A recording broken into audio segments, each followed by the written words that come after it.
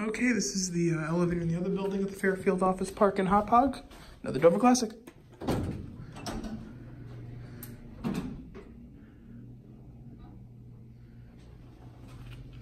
And for some reason, the fire service has been re-outfitted in this elevator.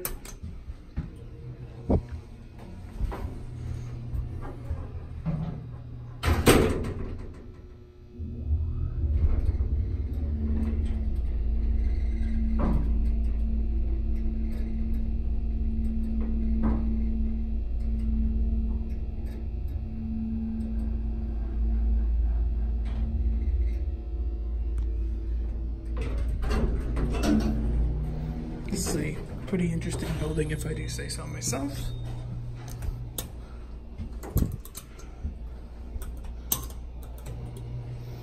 I don't know why the fire service is like that, so I'm not sure which. I'm assuming you're gonna have to use this key switch if the elevator goes into fire service.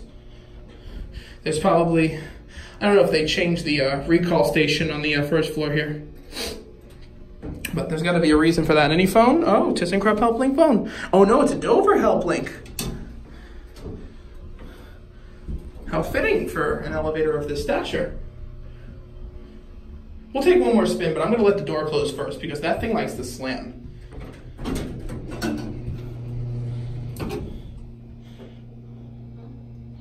Door operator leaves a bit to be desired.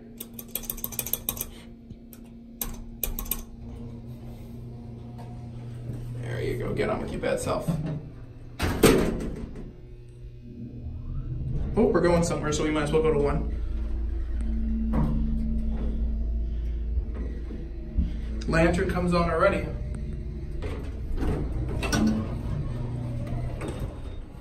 And here's the lobby of this wonderful building. That's it.